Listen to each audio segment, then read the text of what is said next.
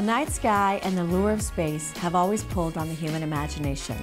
But exploration did not really take place until the mid 1900s. But then it happened fast. We choose to go to the moon in this decade and do the other things, not because they are easy, but because they are hard early space exploration, it was both competitive and collaborative, but the media really focused on the competition that was these heightened political tensions and an extension of the Cold War. The reaction was one of astonishment and concern. On Sputnik 1, the Soviet space satellite. Research in space improved life on Earth from the very beginning, and today, the International Space Station is a symbol of global collaboration the amount of money spent on the space program is worth every penny. I think there are things we get from the space program that are uh, valuable to our life on Earth. I'm Cray Novick. And I'm Myrna James. It's time to go behind the wings. In this episode, we're going to explore the question how did human spaceflight start and how is it affecting us today? To start, we headed to NASA's Center for Human Flight, Johnson Space Center, to talk with NASA historian Jennifer Ross-Nazzal. How did Johnson Space Center first get started? In 1958, uh, NASA was created. This is my first opportunity to greet you as Deputy Administrator of the National Aeronautics and Space Administration. It was created as a response to the launch of Sputnik.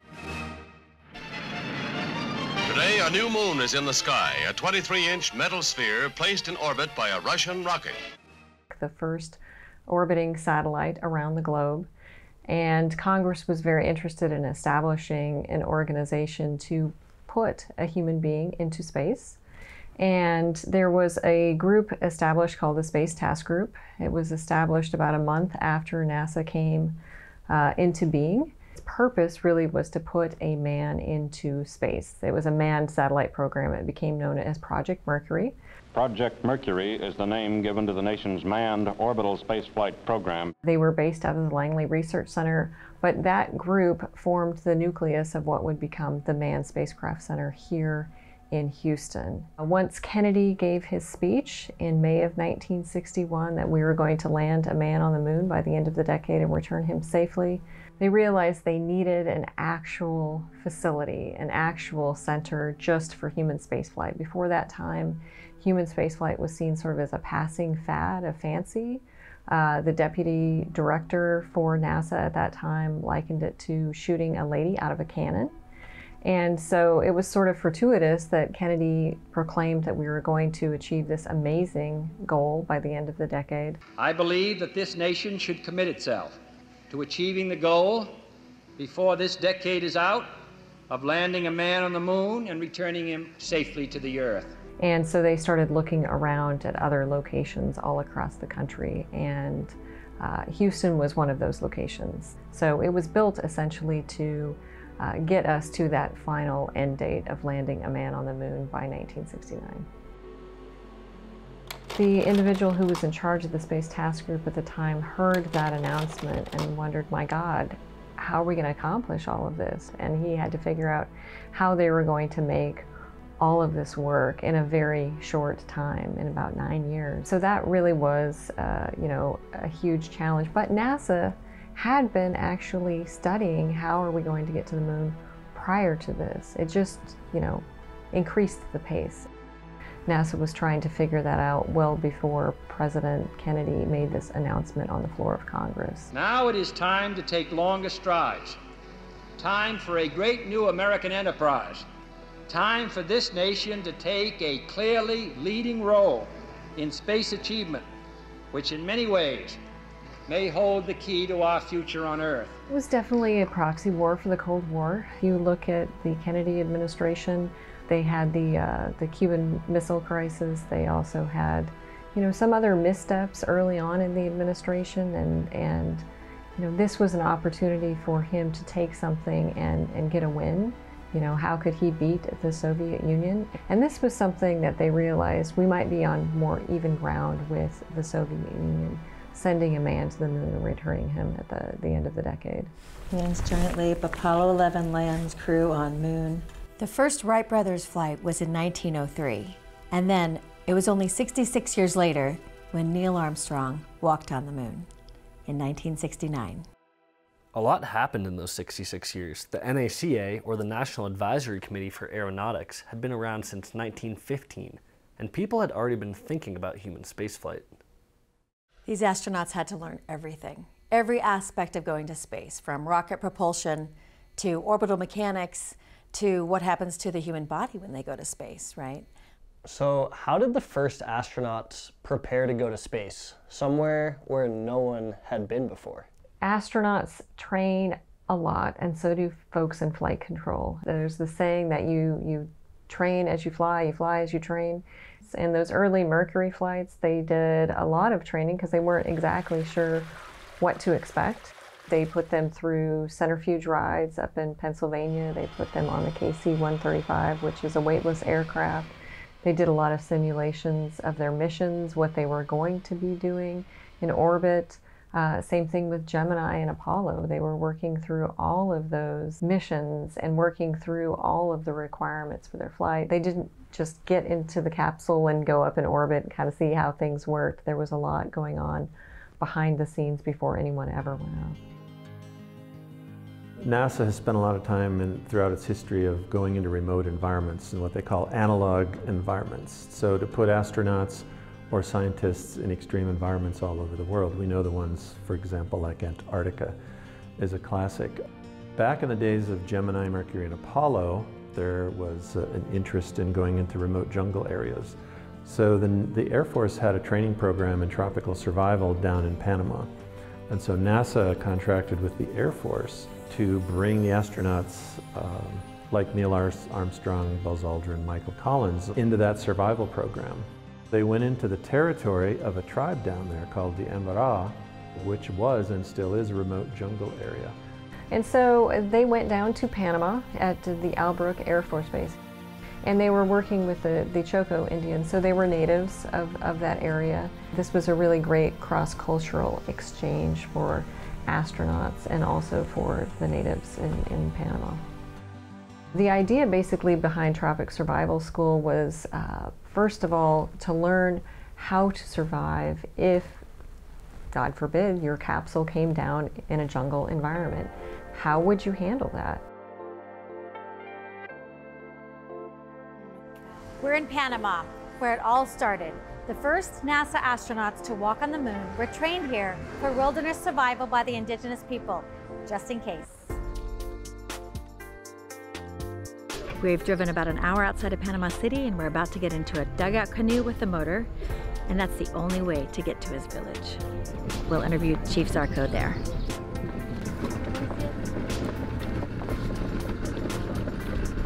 Ahí está bien.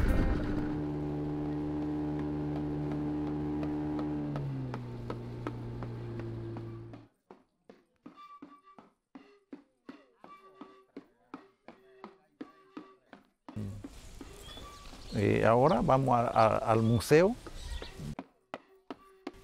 Chief Zarko, tell me about your grandfather. Estos son mi abuelo, la esposa y varias hijas de, de ellos. Dice también en verano que tocó la luna. Eh, mi abuelo aquí muy joven, sí, muy joven. Y bueno, aquí tenemos otro que es, estaba entrenando. Este nosotros acá le decimos balsa, cómo se amarra, eh, cómo cortar. Entonces él está enseñando.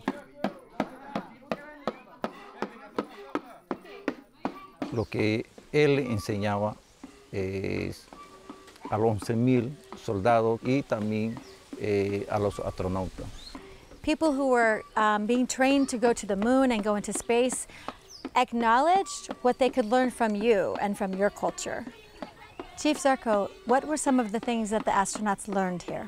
Cuando ellos subían a la luna, cuando ellos eh, caían en la Tierra, ellos eh, ya sabían lo que eh, mi abuelo, lo que enseñaron cuando estuvieron en la Tierra, cómo sobrevivir, qué comer cuando ellos ya caminaban, eh, cómo ellos podían tomar agua, fruta, qué fruta puede comer, qué fruta no puede comer.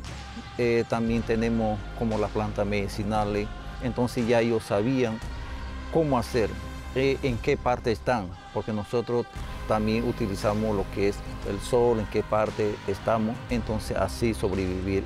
Why is this area such an ideal place to train astronauts? Donde nosotros estamos, el, el bosque es cerrado, eh, hay muchos árboles grandes. Eh, también mi abuelo no explicaba. Cuando fueron a Vietnam, en ese tiempo, eh, la guerra, en Vietnam es parecido a este lugar. Por eso que los americanos llegaron a este lugar. Entonces toda esa experiencia que mi abuelo le dio ya ellos sabían, pero también compartiendo con los astronautas.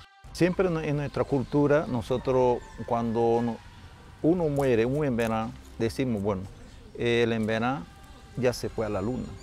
Él, por eso que también cuando hablaron de la luna, viene la persona, eh, bueno, voy a enseñar. Nuestro abuelo decía, bueno, nosotros vamos a enseñar todo para que también ellos conozcan. You know, they, they had a lot of cross-cultural interaction with the Choco Indians, worked very closely with the chief, uh, Antonio Zarco, and, uh, you know, encouraged them to uh, get to know the folks uh, as, as part of their training so that they would feel comfortable.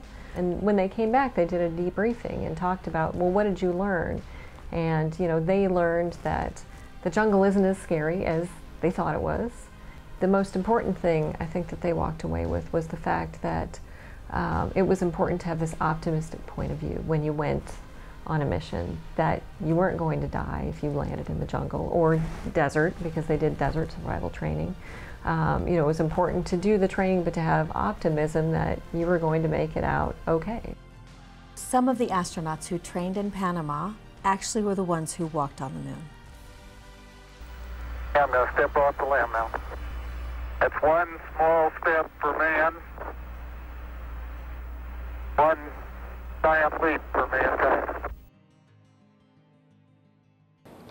The Earth, as it appears from the moon, uh, is a very uh, small and fragile object. Uh, and when you think about it, that's not an inaccurate description. Uh, certainly a lot of the uh, things that we do down here uh, can affect the, the balance in a very fragile way. The, the greenhouse effect we're noticing today, for example, the, the, changes between a healthy atmosphere and an unhealthy atmosphere are, are very subtle, very, very fragile, and uh, you sort of get that feeling when you look at the, uh, at the Earth from a great distance. Seeing the Earth from space can cause a significant psychological impact called the overview effect. To learn more, we spoke with cultural anthropologist Dr. Deana Weibel. Deana, it's so great to speak with you today. What is the overview effect? So, the overview effect is a term that was actually coined by a journalist, Frank White, who is also a researcher. When people go into space for the first time and look from their spacecraft to the Earth, the awareness that it's actually a planet, suddenly the borders are not real anymore. You see that they're imaginary. You see that everything is interconnected. You see the Earth as much more fragile. And a lot of astronauts have had this experience where it was like a sudden realization, something that caused them to rethink what it meant to live on a planet, rethink things like environmental awareness. Some astronauts have become really, really strongly focused on getting information out about global climate change and other things we need to do to protect the planet. Steve Lindsey, I'm so excited to speak with you today, and I almost don't know where to start. You've had such an illustrious, amazing career. I, uh, I applied and was fortunate enough to get uh, selected in 1995 to the uh, NASA astronaut office as an astronaut, as a pilot astronaut. So I spent 16 years at NASA, and uh, while I was there, I was uh, fortunate enough or blessed to uh, fly five space shuttle missions, two as pilot, three as a commander. That's amazing. Yeah, I was very fortunate. My final flight was the actually the final flight of Discovery. The trip in the space shuttle. Go for main engine start. Being on the launch pad to orbit is eight and a half minutes long. We have main engine start. Most eight and a half minutes of intensity you'll ever experience. Two, one, and the final liftoff of Discovery. A tribute to the dedication, hard work, and pride of America's space shuttle team. Discovery's three main engines are burning fuel at a rate that would drain an average swimming pool in about 25 seconds. The engines combined with the solid rocket boosters produce more than 7 million pounds of thrust. Standing by for separation of the twin solid rocket boosters, Discovery now traveling 2,695 miles an hour. I'm picturing this extremely fast speed that you're going. Mm-hmm.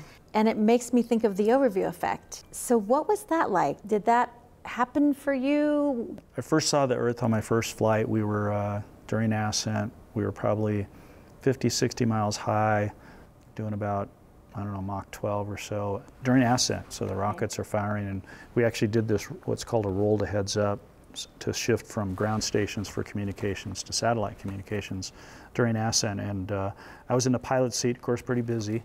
But uh, when we did the roll, rolled underneath, and I got my first view of the Earth.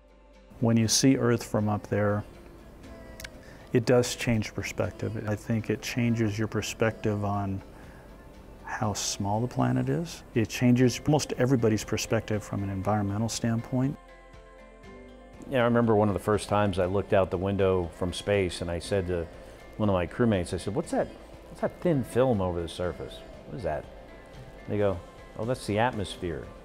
Almost looks like a contact lens over somebody's eye, how thin and fragile it is compared to the, you know, the size of the planet, which is kind of scary looking because it's, uh, you know, the most important thing to our survival is our atmosphere. I think makes you more kind of in tune with, uh, you know, environmental causes. I remember the rainforest in South America looked different on my first flight than it did on my last 17 years later. And then when you look at the planet, you know, you don't see political borders. During the daytime, you do at night a little bit. You know, countries, you know, sometimes use different kind of light bulbs, so it's easy to tell. I'm on the International Space Station, but we're really all on a spaceship traveling through space called Planet Earth, and we're all part of the same team. I know that you were on the International Space Station for basically a year. How did that come about? Yeah, I was there for nearly a year. We launched in uh, March of 2015, landed in March of 2016. It's one of the greatest successes of the International Space Station program is that you can have two countries that, um, you know, historically can be at, uh, you know, not on the most friendly basis, um, unfortunately. You can work co- cooperatively on something that's probably the most challenging thing we do and demonstrate that we can work peacefully together as a team, and space is a perfect place to do that. And for us, you know, our relationships as crew members, we have to rely on each other for, you know, friendship, for help with our work, and literally at times for each other's lives. Out of that competitive atmosphere that defined early space exploration came a whole new vision for collaboration. And then the International Space Station, and so many countries are involved. The International Space Station, it's it's truly that international. You have 258 astronauts that have been there from 20 different countries. And then when it comes to the countries involved in the ISS, I mean, this is going to test my geography more than anything, but we've got the US. We've got this big one, Right, Russia here. Russia. Enormous. You know, we had we had Canada. Canada's up there. We have Japan right here. Japan, yep. JAXA is very involved with these with space activities. And then, I mean, you have the European Space Agency, which is going to make up a lot of the countries Belgium, Denmark, France, Germany, Italy, mm-hmm. the Netherlands, Norway, Spain, Sweden, Switzerland, and the UK. The International Space Station is just that. It's truly international. It's almost like in space, where borders don't exist. The idea was that this would be a good way for NASA to get experience working on an international space station. That was the goal, to have our own space station. We had our first space station, Skylab, but this was going to be a little different. So this was an opportunity for astronauts to get some experience working on board a space station, you know, kind of this building block for, for NASA. The international aspect of space station has been so vitally important. That's probably the most important legacy that space station will have. Many of the pieces of hardware, for instance, never met on the ground. The first time they met was up in space. And so just working together, I think it's it's so vitally important. We may not be able to do it on the ground, but in space we've been able to do it so successfully. Hi, this is Steve Lindsey, uh, commander of the Space Shuttle Co- Discovery. Welcome. You know, when you look at the space station and the international partnership and 16 nations up there working together all the time, that all gets blurred, and we're, we're generally speaking one team up there. If you'd have told me when I was a pilot in the Cold War that within 10 years I'd be flying with Russians, Yeah. I would have told you you were crazy. Um, but that changed. Right now, the plan is to, to deorbit the space station around 2030, right? And eventually you're going to have to do that. I mean, things age, they age in space. You got on a spacewalk on the space station, it's surprising just how beat up it is outside. Mm-hmm. And the sun is just brutal. The changes of temperatures of, you know, plus or minus 270 degrees. Thing gets hit on the outside. There's a lot of holes on the outside. Fortunately, you know, so far those holes haven't penetrated the pressurized volume, but there is a lot of damage to this. So eventually you're going to have to put it in the, in the Pacific Ocean. One of the most important things that came from that experience was the twin studies, because you have an identical twin brother who's also an astronaut. Yeah, because my brother and I were identical twins, we're genetically uh, very, very similar, almost like, you know, 99.9% genetically similar, that they felt like that they could get some good science data. So the NASA Twin Study, the idea was born uh, to try and get more genetic information and more molecular information and other types from people in space for longer periods of time. That's a little bit complicated to do, so what they thought was if we're going to use very small number of people, that they should be twins. Uh, that would allow us the ability to study one twin in space and the other twin in, on Earth. Doing that would allow us to better understand the differences that weren't related to genetics, right? Because they should have a fairly similar genetic profile. For something to be statistically significant, you need a lot of samples. Right. And this is kind of a sample of one. Having said that, it's also a longitudinal study, so you can get statistically significant data by studying the same thing over a long period of time, meaning Mark and I. So the goal was then to study them for one year, and uh, Scott Kelly was the astronaut who was in space. And so uh, both of the Kelly brothers gave enormous amount of time, willingness, blood samples, every kind of tissue we could get, uh, psychological testing, physiologic testing, uh, over that entire year period. And so at the time, it was really the longest and most comprehensive uh, scientific study that had been done to that point. So that became part of the science program, and it got the most attention, more attention than the other science, which was actually probably more important, but just didn't have that kind of like cachet, human interest cachet that that uh, a story about two uh, twin brothers doing a s- science experiment on the space station had. Give us a few nuggets of the results of the twin studies. Well, there are a lot of experiments, and uh, you know, I didn't give these experiments any more attention or less attention than I did everything else that we were doing. To the researchers, all of them, their their their science is the most important. And during the course of that year, we had 400 different experiments going on uh, the, year I was on the space station. That's Um, incredible. yeah. So this was I don't know, it was probably 10 or 15 different studies. You know, some of them were on. Uh, human cognition like how does your brain change over the course of being in space from uh, you know your ability to perform certain tasks and functions. What we would do is you know i would collect data or mostly mostly it was like science samples but there were tests that i would do and then my brother would do the same ones on the ground. And i'll tell you what you got to give him credit because he didn't even work for nasa. I think they were going to pay him but it was like so little that he said eh don't bother. I don't want to deal with the tax headache from being paid, you know, it's just really small amount. So, why is space exploration so important? You know, I think it's important for a number of reasons. We are, you know, genetically speaking, I think explorers, right? If we uh, if we didn't have that gene, we would still be living in a cave somewhere. We have this desire to see what's you know over the horizon, what's over the ocean, you know, what's in outer space, and what it gives to our society, to our economy, to our national security, is worth every penny.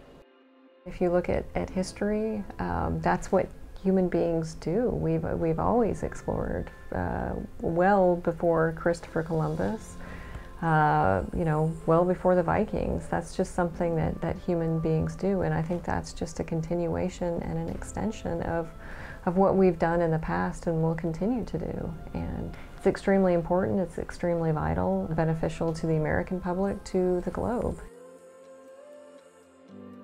A space exploration transitioned to becoming more collaborative, it set the stage for how it can benefit life right here on Earth. But it's not just about going outwards, going to the moon. It's also about looking back at Earth. What can we learn about our own blue planet?